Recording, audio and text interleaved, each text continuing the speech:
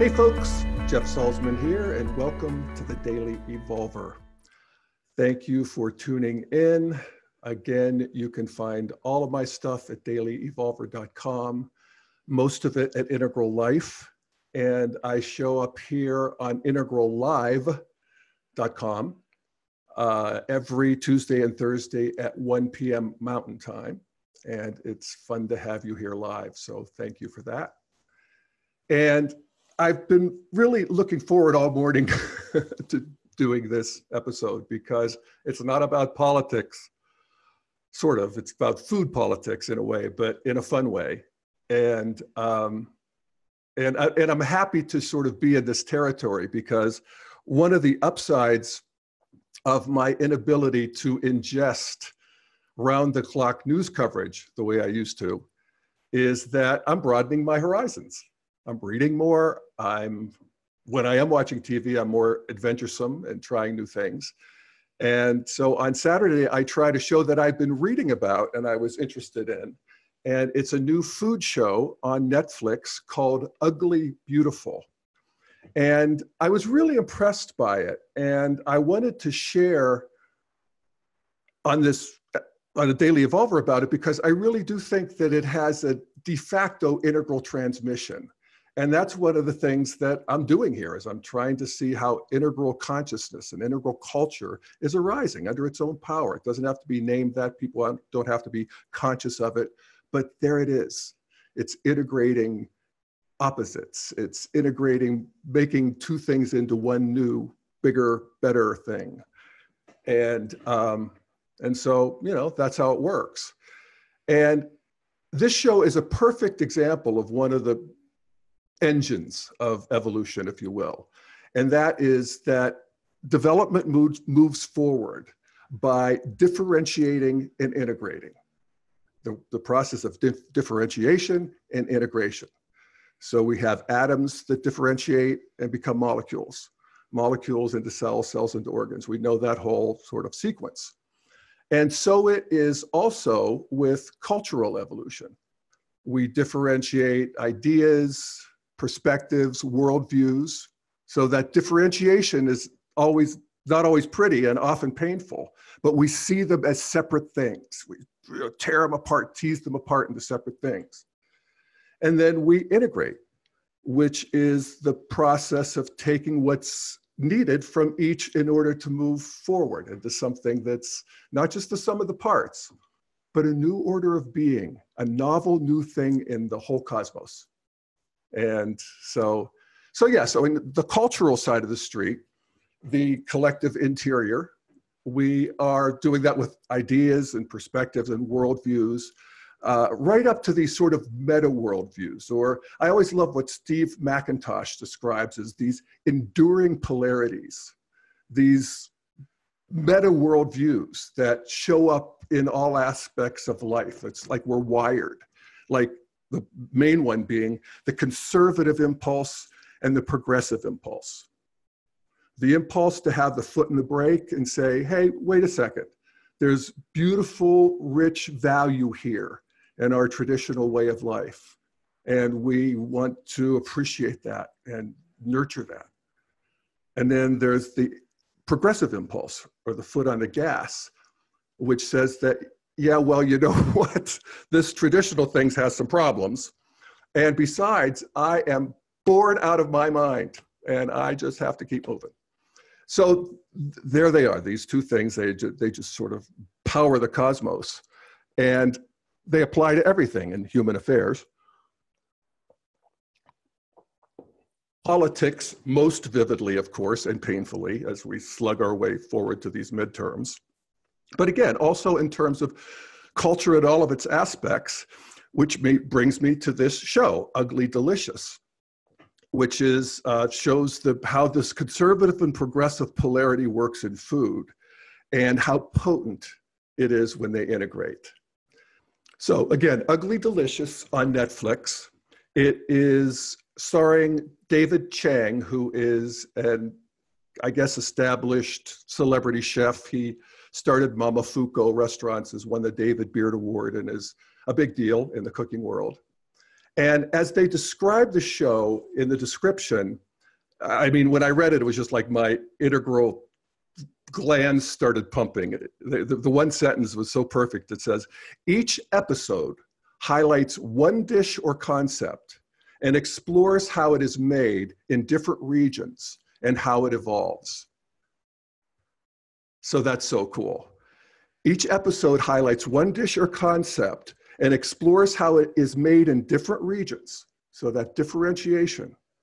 And then how it evolves, that integration. And I can't put it any better than that. And that's exactly what the show does do. And I loved it. And there are eight episodes. I haven't watched them all, but there's an episode on pizza, on tacos, on barbecue, and how human beings all over the place have done it their way and what it means to appreciate each one of those in its particularity and also liberate them into what might be new.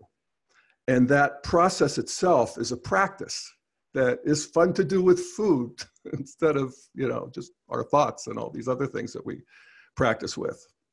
So I'm going to start with a clip from um, the, the more traditional side of the street. And there's an interview that they have with Antonio Pace, who is the president of the Association of Pizza Napolitana in Naples, Italy. And it's an association that certifies how pizza ought to be made because pizza started in Naples 300 years ago, as he put it, back when you were fighting the Indians. And, you know, it is spread all over the world and they want to certify how it should be made so that it's authentic to this Napolese tradition. And it's a tradition of a yeasty crust, tomatoes, buffalo mozzarella, minimal toppings, and that's how it works. So I'm not going to play that because it's in Italian, and if you're just listening, you won't be able to understand it. But he's cool and he's cute, and uh, and he he really means it. He has uh, he has certified the the uh, Nepalese way of making pizza, and people all over the world have his certificate. So one of the pizzerias that they uh, feature in the show is called Totonno's in Brooklyn. It's very famous. It's uh, one of the oldest pizzerias in the country. I'm going to play a clip where they'll make some claims. And, um, and they have this tradition of how pizza ought to be made and how it ought not be made. And it's very cool. So here it is.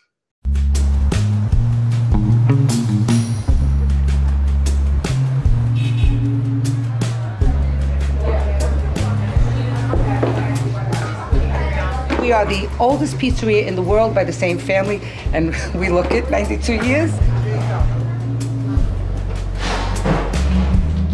My grandfather, Anthony Pero, brought pizza to America. It's been the same recipe from day one.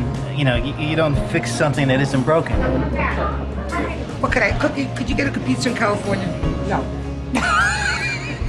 no. That's kind of what I thought you'd say. How do you feel about Chicago? I no. See, you're asking these questions and you haven't even eaten our pizza. If you ate the pizza, you wouldn't ask these questions. See what I'm saying? Why you have to talk to her? I grew up in New Haven, Connecticut, where it's known to have the best pizza, Pepe's.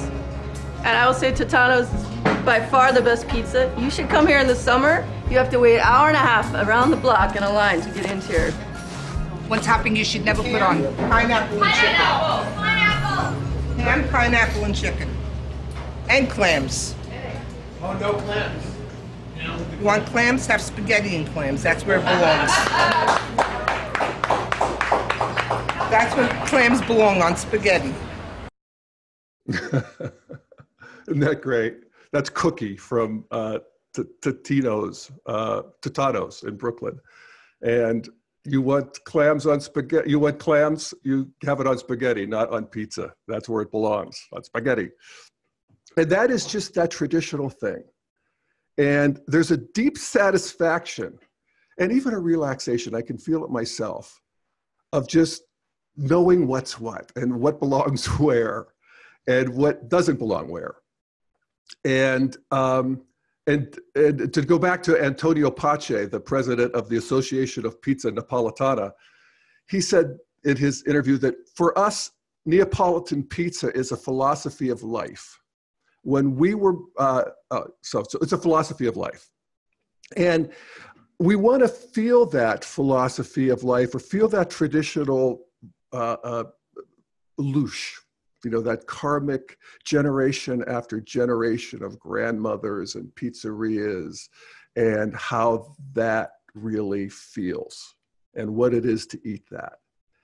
And I think about in my own life what I am really rooted in the traditional with.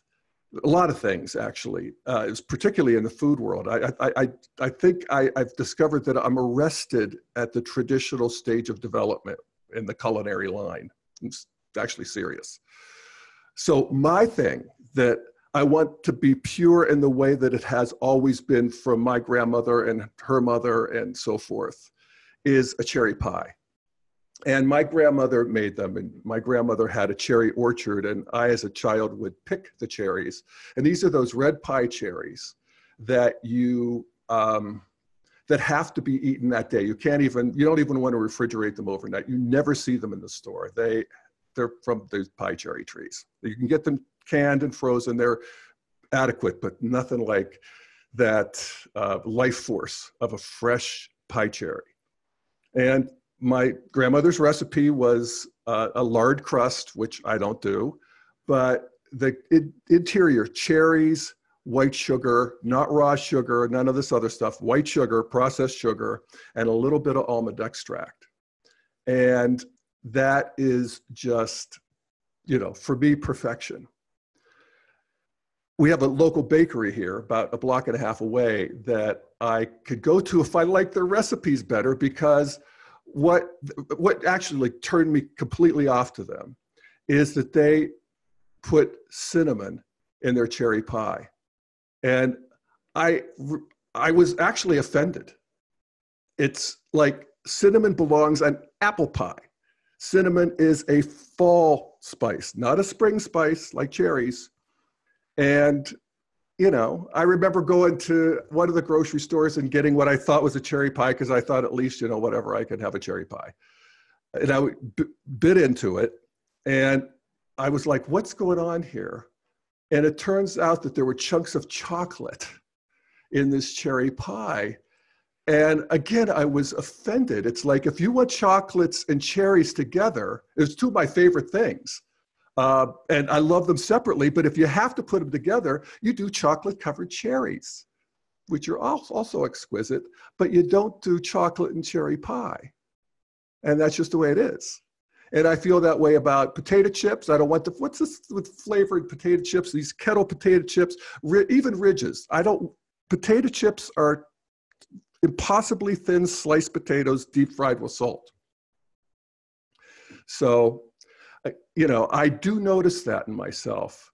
And there's nothing like biting into a cherry pie that's just the way it's supposed to be. I mean, there's something that just opens up to my whole family history, and I love it. And I am a devoted cook, actually. I love cooking, but I almost never try something new. I'm, I'm going to try to try something new just because I want to break out of this thing. But my natural inclination is to make the things my mother made when I was a kid, but make them impeccably. I mean, she was a weeknight cook. When she made vegetable soup, she put in a can of Veg-All. I use fresh vegetables if I can, or the best I could get. And, you know, I sweat them and I uh, sear the beef and you know I do whatever. But the idea is to make it as perfect as it is in my memory. And you know all of the imperfections of a weeknight cook are forgiven in my memory. And my mother was a good cook, so that's you know the, the sauerkraut and pork. I mean, I can't get that at a restaurant. I can't get my mother's vegetable soup. I can't get her meatballs. I can't get her pigs in the blanket. Uh, so I make them myself, and that's you know that's what it is to be arrested at the culinary line of development. So all right, so they have that, and then they start to attack this idea after they sort of revel in this idea of this you know traditional one way it is and, and isn't they start attacking that and so i'm going to play the next one. So you've been to Italy before? Never in Naples. Never in Naples. It's this way. We- We're in the back streets of Naples. I love I this know. right now. I can't quite get over how pretty it is. I mean, I feel like there's like an almost obsession with the idea of Neapolitan pizza being the first pizza or the place that pizza comes from. It, it's a romantic story. Yeah, I don't buy so deeply into the idea of bread topped with things came from one place, one time. I feel like as soon as humans figured out how to mix wheat and water, they probably started putting shit on it to try to make it taste better. But you know, it, it is their culture. Right. You know, so I, I guess we have to respect it. I wish I had taken the line of respecting it, but now I'm just the asshole criticizing it. I, I wish I had taken the line of respecting it, but now I'm the asshole who's criticizing it. But yeah, so we could begin to feel a little, uh, you know, held in by these traditions. And so then we move to a um, the next one where they go to Copenhagen and they meet with the famous chef. I'm forgetting his name, who is uh, making even Italian pizza, but doing it Danish style. So here we go. Some things become special when you try and find your own way. The starting point was to do something authentic by not trying to be authentic. I think that's a big flaw in the world of pizza, particularly. It is the most Italian thing, but if you only look at how it's used to be done or how it's supposed to be done, you don't allow yourself to move it forward. If you do an authentic Neapolitan pizza, you must import buffalo mozzarella from the Campania region. Now, who makes these rules has an obvious interest in the export of buffalo mozzarella. So, how, how is it that you can be told that freshness is everything? That in, in Naples, they say you have 24 different mozzarellas for every hour after it's been produced. But still, you need to buy it and import it, and it's going to take you seven days to get it to Copenhagen. Like, it, it didn't make sense to me. I need freshness, we'll need to make it ourselves. You taught yourself how to make YouTube. YouTube. A lot, of, a lot of YouTube, a lot of research, a lot of experimenting, and a lot of shit mozzarella. Then last year we got cows. We got our own milk from our own herd of Jersey cows. The mozzarella just poof, was like magical dust on it. It was like it was crazy. Much much better. All right, so did a couple things differently. Buffalo mozzarella, they have buffalo, real buffalo that they imported centuries ago from Africa in Naples, and that's buffalo mozzarella. But they don't have those in Denmark, but they have Jersey cows.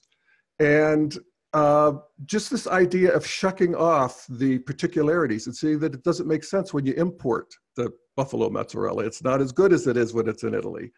And it's just this sense of, and furthermore, these people have a financial interest in buffalo mozzarella. So I'm suspicious. And that's sort of a modern view of, uh, money view of traditions, seeing how traditionalists actually, you know, spin the game for their benefits. It's, it's what they do. It's what we do when we're at that stage. So it's not unlike the band of young warriors who eventually defy the chief or the spirits and go out and start a whole new series of conquests and it's a whole new in, in this case movement from one stage of development to the next. And indeed this happens. And so they interview wolfgang puck who started a pizza empire with all of these funny cilantro pizzas and buffalo chicken and uh, uh, barbecue chicken, I'm sorry, and, and, and made them frozen and, and pissed everybody off, but became super wealthy with spagos and the frozen food. And, uh, and they treat that with respect and they treat him with respect. And, and then they, they end up in Tokyo where they interview a chef. His name is Ryu Yoshimura. And he was trained as a young man in Naples, Italy, to make pizzas. And they have the beginning of a really interesting conversation. I wish they had continued it. Uh, they cut it off too soon, in my opinion. And I don't think that actually David Chang was getting what Yoshimura was saying. But he was talking about his pizza in Tokyo, where it's essentially a sushi pizza with raw fish and ginger and Um, and, and it's beautiful. Again, I play the uh, clip, but it's not going to make any sense if you listen to it, which most most of my listeners do, because it's a lot of Japanese.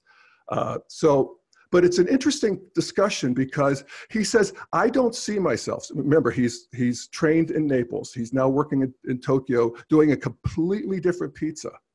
But he said, "I'm not doing fusion. I'm doing." Um, he doesn't use the word integration, but he says, I, I don't want to mix. I actually want a new indigenous, a new rooted tradition that's rooted in Japan, just as it's rooted, the Nepalese pizza is rooted in Naples, in Italy. And he talks about how, well, the pizza that he serves them, instead of using tomatoes, uh, well, first of all, he serves it and they love it and it's like, what is this sauce? And it turns out that it's mayonnaise and corn, which actually doesn't sound that great, but I bet it is. and it's tuna and so forth. And he talks about how in Japan, the tuna tastes different every day that they bring it in from the ocean. And you have to take that into account, just like in Naples, the buffalo, the buffalo mozzarella is different every hour after it's made. So um, they love it, and it shows just how far you can go, and um, and it's really uh, very cool. So I, um, uh, so you would think the traditionalists are going crazy, and with all this progressive stuff going on, and there, there it, it is, but it's only food, so it it, it doesn't get too crazy. Uh, I think back on Cookie at the Totino's in, um, in Brooklyn. Uh, but also Antonio Pace, again, the president of the Pizza Napolitana. And at the end, he does this wry little bit that's very cute. And, it, it's, it, and I loved it. He said, I went to Japan last year and I told our Japanese members that I was pleased for the extremely high level of their product. Then I said, now please stop improving because if you make pizza better than we do, I'll get really angry. So a playful uh, sort of way of uh, accepting and you know expanding to include what's new, and uh, and that's typical of the whole show. It has a playfulness to it that I think is also just a marker of integral consciousness, honestly. And and I have to say, I was when, when I was watching it because this guy's a big time chef and and you know fancy food and and and he's you know moved the ball and all of that stuff. And I just was thinking to myself as I was watching this, I was thinking, okay, you're going to get really integral if you go to Pizza Hut and you take on the whole pizza industrial complex. And you know what? He did. He didn't go to Pizza Hut, but he went to Domino's. And he, they did a segment in Domino's. He actually delivered pizza with a pizza delivery guy, and he went back in the kitchen, and his, he commented he realized that Domino's is more than a pizza company; it's a technology company, because what they're doing is turning out pizzas, you know, like clockwork with these computerized machines where you could follow with the app on your phone where your pizza is in this process and when it gets in the car and when it's on its way to you, and and, and as uh, David Chang said, and I love Domino's. I order Domino's a couple times a month, or not a couple times a month, or one, once every couple months. And, uh, you know, he was talking about for what it is when it's done well, and sometimes Domino's isn't done well, but when it is, it's a good pizza. So I, um, I thought that was really cool.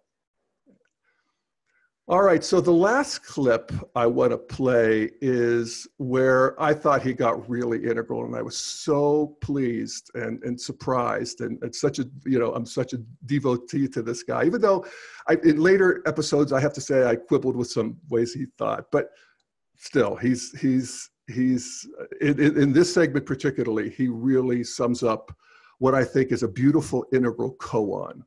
So I'll play that. I view authenticity like a totalitarian state. It's something that I think has been overvalued, but reality is it hasn't been scrutinized enough. If you really boil it down to why food in Italy is going to be so good, it's because you're there. The terroir makes a big difference. There's microorganisms. There's the people there, there's the smells, it's, it's what makes it. It's not that I hate authenticity, I hate that people want this singular thing that is authentic. There are people that are making Italian food that are more Italian in its idea and thesis than anyone in Italy's making. Because they're not using anything that's imported, they're using everything that's around them. So yeah, I think uh, really a, a, good integral koan. Uh, the authenticity. He says he thinks that it's overvalued but not scrutinized enough. And I just think that is worth pondering. And it is a good integral practice. And like I said, a fun one.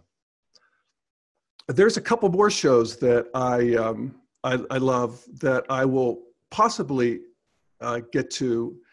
One of them is also on Netflix, and it is called Salt, Fat, Acid, and Heat by Samin Nosrat, who is a chef and a food writer, and she has come up with this astonishing thesis. It was astonishing to her when she came up with it, and it's it was to me as well, and it, it sort of also rang my integral chimes.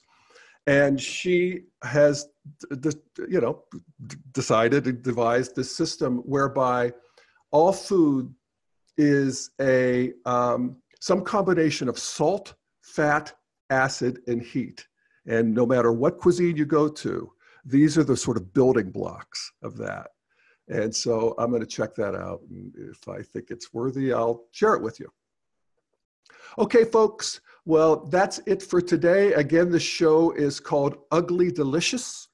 It's on Netflix and it stars David Chang and his posse of interesting chefs and people, and they go all over the place and, and I think integrate uh, the, the food scene in a way that is really exciting.